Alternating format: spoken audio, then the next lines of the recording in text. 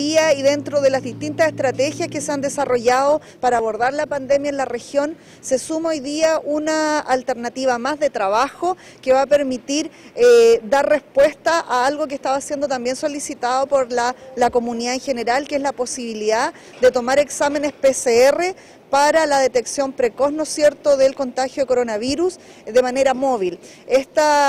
equipo que vemos a nuestras espaldas ha sido trabajado y preparado por la red de salud eh, de la región de Aysén con la finalidad de trasladarse y facilitar la pesquisa en grupos específicos, como por ejemplo eh, se ha hecho en el ELEAM Antonio Ronchi, una población que está cautiva pero que también es muy frágil, eh, trabajadores de distintos sectores como el retail, los trabajadores del mundo de eh, los medios de locomoción, acercando esto y no teniendo que esperar que la persona vaya hasta los respectivos centros de salud. Esperamos que sea una herramienta que nos permita pesquisar y sobre todo prevenir. Este es un dispositivo móvil para la toma de muestras de PCR, o sea, con hisopado nasofaringio, vale decir con la tórula que la gente conocerá ya más o menos cómo funciona, en donde se obtiene una muestra para la amplificación de, del virus.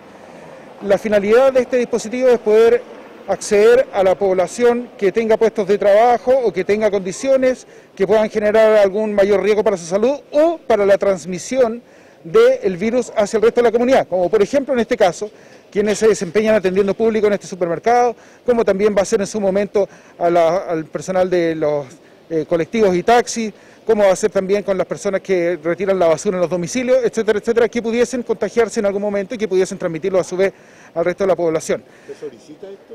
No, tenemos un cronograma nosotros porque es una muestra aleatoria, ya que hacerlo a todos en un mismo tiempo resultaría eso en,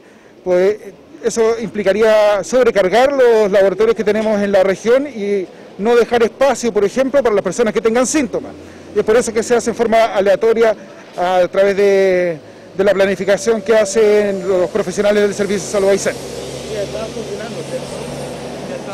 Sí, ha estado operativo, pero estábamos viendo cómo, cómo era el funcionamiento, cómo era la marcha blanca, poder solucionar los problemas que pudiesen haberse presentado. Ha funcionado bastante bien, así que hoy día es la partida oficial de, este dispositivo móvil. Bueno, para nosotros como atención primaria esto, esto es un, hito para poder trabajar eh, en todos los, sectores para hacer pesquisa activa de, los casos. Esto es una súper buena herramienta por la, la, función y la, labores que nosotros debemos cumplir. Así que eso, eh, estos dispositivos también eh, se está eh, estudiando y evaluando la posibilidad para que prontamente poder habilitar en Puerto Aysén también otro vehículo también con la misma modalidad, adaptar vehículos existentes como esta clínica dental móvil que,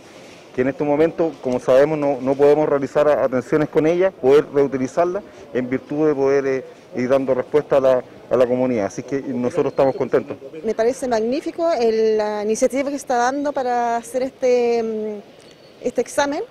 ya que nosotros estamos expuestos a, trabajar con mucha gente que viene de afuera, que no sabemos de dónde viene, de dónde trabaja,